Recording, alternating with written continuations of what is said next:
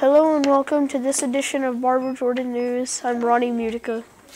And I'm Esmeralda Moreno. We hope you all have a good week of star testing. Here's something you can look forward to in the next week Easter break. For the holiday, there will be no school this Friday, April 14th, and Monday, April 17th. We hope you have a great Easter break. Do you have any plans for Easter? Robert Jordan News team member Peter Bueno asked a few students what their plans are. Easter's a few days away. I'm going to be talking about to some of my classroom mates about it. Uh, What do you like about Easter? Opening Easter eggs and the surprise of looking in my Easter basket. My favorite part about Easter is saying Happy Easter to my mom. What are you going to do on your day off? I'm going to sleep. Yes, we are going out of town to El Paso. What are you doing for Easter? I'm gonna eat candy. Take naps with my mom and open eat, and when it's Easter, open Easter eggs and have fun. Cordell, Cordell, what's the best part about Easter? Mm, I would say spending time with family. What does Easter mean to you?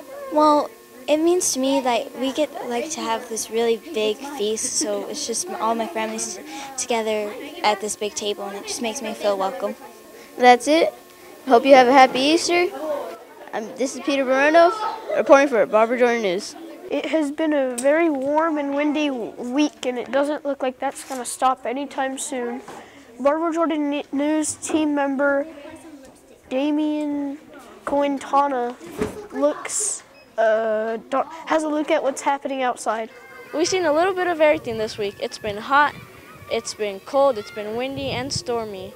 But what about Easter? CBS 7 Authority Team has your answer. Easter egg hunting, well, I think it could be a little soggy for the Easter bunny uh, this year. It does look like we'll see some scattered showers, thunderstorms uh, throughout the weekend uh, of Easter, and so there, there may be uh, some wet soils, things like that. The good news is it's probably not going to snow, uh, so you, you won't have to, you know, pull all the indoor activities uh, inside. But I do think there may be some thunderstorms across parts of the area, especially uh, in the days right around Easter. It might be uh, the day after, the day before, but we'll be watching it closely. It's a great day to go outside.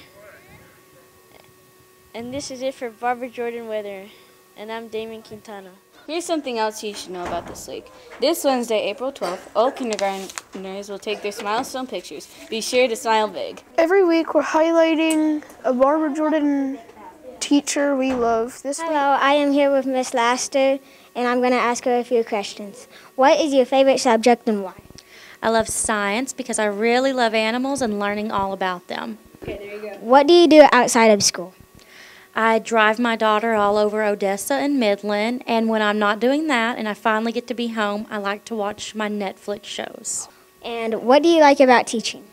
I like getting to watch all of my students learn and conquer new concepts that they never thought they would be able to. Bye, my name is Brandon Lambert.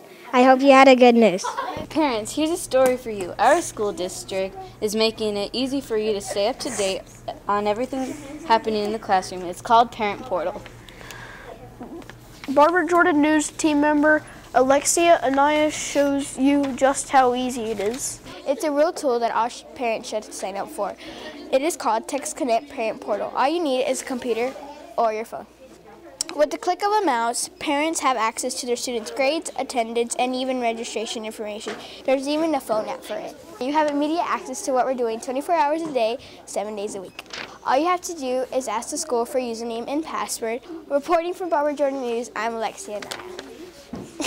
That's all for this week's edition of Barbara Jordan News. We'll catch you next week. Hope you have a happy Easter. Oh, bye. Bye. bye, people. See ya.